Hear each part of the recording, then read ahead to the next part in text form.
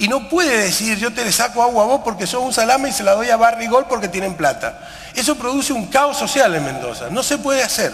Pero en gran parte de las provincias no se puede hacer porque la distribución de agua es una distribución de derechos. El agua es de las provincias y las provincias a través de sus mecanismos legales distribuyen agua. Por lo tanto, este es un conflicto parcialmente eh, conflictivo y hay que analizar cada cuenca individualmente.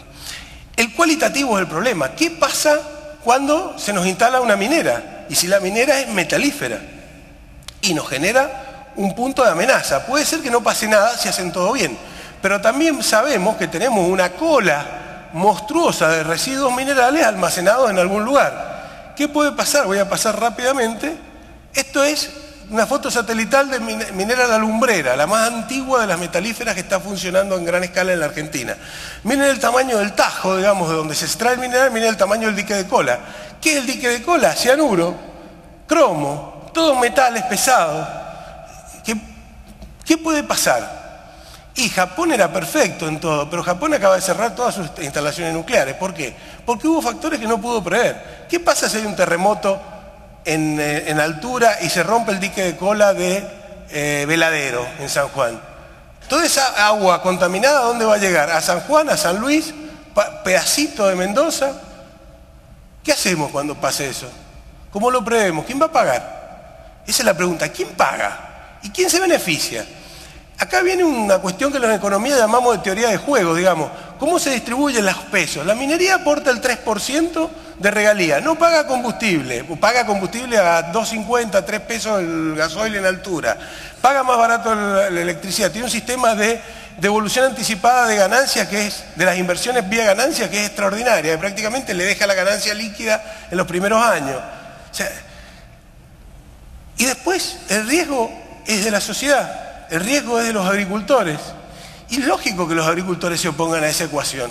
Si yo pago y no como, me invitan a una cena donde yo tengo que pagar la factura y yo puedo comer si queda algo. Por lo tanto, es lógico que haya una oposición masiva en todos los lugares agrícolas, Famatina, como Mendoza, de los agricultores a la minería, donde el poder político tiene un poder muy grande, ha logrado hacer pasar esto. Pero es un problema muy serio este juego de intereses. Fíjense esto. Pucha, lo pasé muy rápido.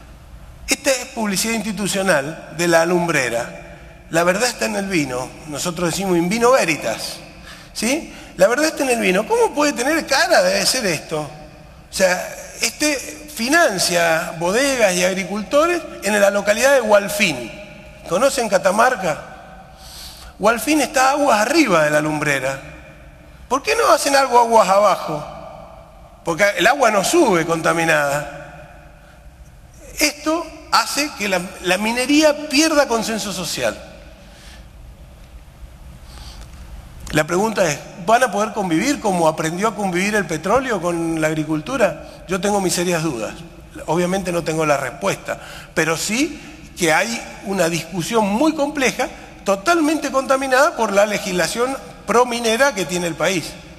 Y con un problema adicional, se habla de reformar la Constitución. Entre las cosas que pueden pasar en la reforma de la Constitución es que los bienes naturales pasen a poder del Estado Nacional para tener más arbitrariedad en su manejo.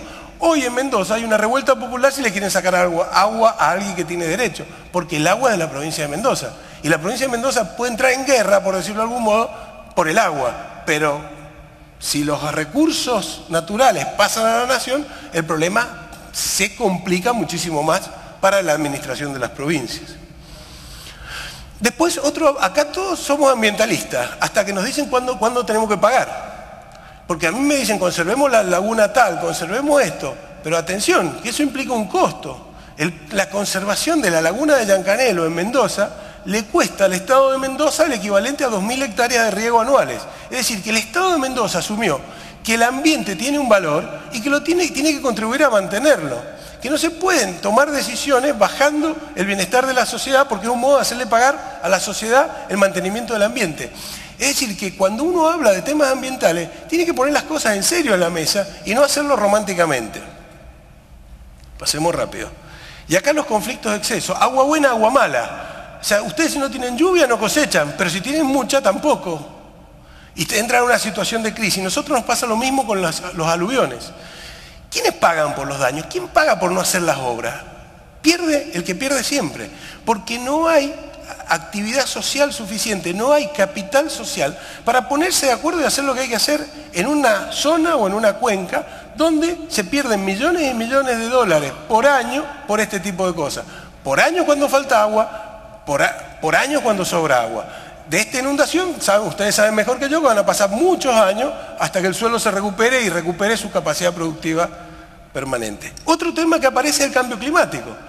Fíjense todas estas porquerías que están pasando en los últimos años, entre las cuales, según mis amigas vacas, son responsables del metano de, la Argentina. Pero más allá de todos estos problemas, lo que tenemos es eso. ¿Qué es lo que tenemos? Que va a llover más hacia el oeste, va a haber más agua en los próximos 60, 70 años y va a nevar menos en la montaña. O sea que todos tenemos un problema de agua latente. Ustedes porque van a tener mucha inestabilidad, nosotros porque nos va a faltar. Es decir, que tenemos que pensar que si estos pronósticos se cumplen, como pareciera ser que es así, tenemos que hacer algo antes de que pase, no cuando pase. Otro tema relacionado con el ambiente son las huellas. Nos están diciendo que no podemos vender peras en Francia porque gastamos mucha energía en producirlas. Sí, para decirle alguna, pero hay huella de carbono, hay huella de agua, de agua. Los rionegrinos viven al lado del río, de un río de mil metros cúbicos por segundo. Mil metros cúbicos por segundo. Todos los ríos de Mendoza juntos tienen 170 metros por segundo. Mil metros cúbicos por segundo y le dicen que tienen un problema que gastan mucha agua en producir pera. ¿Qué te importa cuánta agua gasto yo en producir pera? O sea, no me claven nuevas restricciones. Antes nos ponían barreras. Ahora que no hay más barreras tarifarias, nos inventan toda una cuestión que con la Organización Mundial del Comercio no nos las pueden... Eh, poner en ejercicio, digamos, poner pero no lo hacen con la opinión pública. Entonces uno va a comprar una pera y dice, un minuto, eh, dice, pera francesa, huella de carbono 2.5, pera argentina, huella de carbono 3. ¿Saben qué? Titular de Corriere de la Cera, vino, vino australiano y carne argentina, los peores eh, huellas de carbono del sistema. Por favor, es una vergüenza que usen el esquema ambiental para hacer esto. Sobre todo por esto. Bueno, a que le gusta un buen cabernet, ¿ustedes se imaginan la huella de carbono del cabernet? ¿Qué sentido tiene? La huella ecológica global, los, verdes oscuros son los que contribuyen a mantener ambiente en el mundo. Los verdes claritos somos los que segundo mantenemos ambiente en el mundo. Fíjense, los colorados oscuros son los que más consumen bienes ambientales. Y encima los, los europeos nos dicen que, le estamos produciendo con mucha agua la espera. Por favor. ¿Tiene sentido? Bueno, para concluir, no se olviden una cosa, el agua siempre es una demanda derivada, concepto técnico de economía. Pero ¿qué es una demanda derivada? Que deriva de la demanda de otra cosa. Si a ustedes les va muy bien con la soja o les va muy bien con el maíz, como parece ser que va a pasar en el mediano plazo, mucha gente va a querer hacer riego en maíz. Por lo tanto, va a demandar agua. ¿Cuál es el gran problema que ustedes van a enfrentar en el futuro? Que si hay mucha rentabilidad, en el mediano plazo, ustedes van a, van a agotar acuíferos o van a hacer un muy mal manejo de los acuíferos.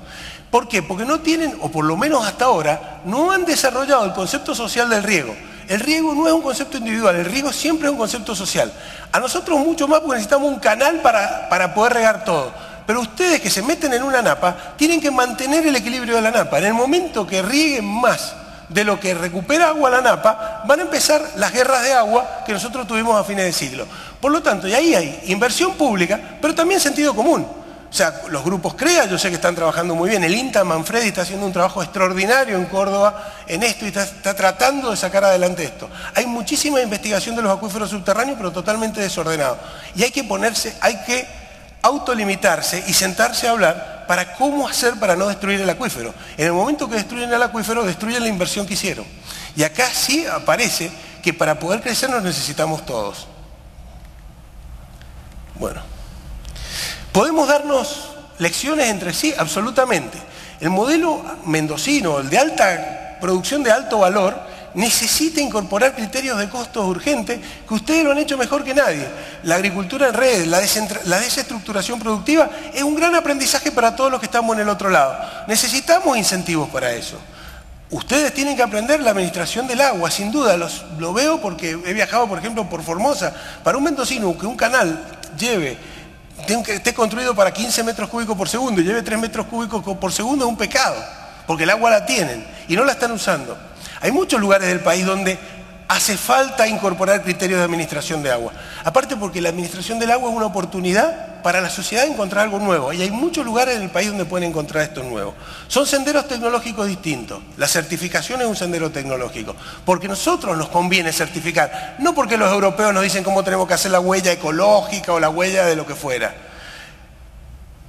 El agregado de valor es indispensable. Para tener, para tener salarios altos tenemos que tener agregado de valor en los pueblos. Y la administración del agua es determinante de la organización de estos pueblos. Y ahora termino, no sé si me queda medio minuto. Un premio Nobel de Economía demostró en el año 79, por eso, unos años antes, pero le dieron el premio Nobel, que los agricultores son racionales, siempre actúan racionalmente, pero en relación a los recursos que tienen disponibles. El recurso agua es un recurso muy particular porque no es privado, es un recurso público, es un recurso que es de todo y no es de nadie entonces. Entonces, es muy importante que nuestros agricultores racionales aprendan a jugar en equipo. Un poco lo que decía para hacer lobby. Esto puede servir también.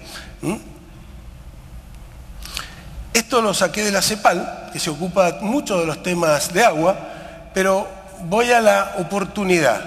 Así como la oportunidad de las asociaciones gremiales de defender los intereses, hay una oportunidad de los agricultores de comprometerse aún más de lo que están comprometidos con sus pueblos, participando en la gestión del agua. Hay pueblos donde eh, le sacan millones de dólares en retenciones de soja y, y otras hierbas y no tienen cloacas. Y esas cloacas podrían servir de gran eh, tratada, agua tratada para regar un montón de cosas. Para regar maíz para biodiesel, eh, soja para biodiesel, o un montón de cosas. Obviamente no se puede hacer cualquier cosa, pero oportunidades hay infinitas. Y finalmente, yo no lo agradecí al principio, lo voy a agradecer al final, quiero agradecer la oportunidad de expresar algo distinto o parcialmente distinto y obviamente al presidente de Craft Ferrero por la invitación, pero también quiero agradecer a los que luchan todos los días. Y yo tengo un amigo que lucha todos los días que se llama Mario Leiva, que ya lo destacaron antes y que todos saben los sacrificios que hace para mantener alto el prestigio de la agricultura, para mantener alto, defendiendo los intereses de la agricultura, a veces con muy poco viene a pelear crédito al Banco Nación, que no tendría por qué hacerlo y lo hace. Por eso voy a usar una frase de él. El agua es de todos, pero es el mineral más valioso que tenemos los mendocinos. Le podríamos borrar los mendocinos. Es, es el mineral más valioso que tenemos. Recuerden que cuando íbamos a la, a la escuela primaria nos enseñaban el mundo vegetal, el mundo animal y el mundo mineral. ¿Y se acuerdan lo que nos ponían en el mundo mineral? agua y sal. No nos ponían oro, cobre, plata, nos ponían agua, porque sin agua todo lo otro no funciona. Gestionar el agua es el gran desafío que tenemos para, para adelante y podemos aumentar nuestra productividad privada, pero social, muchísimo. Muchísimas gracias.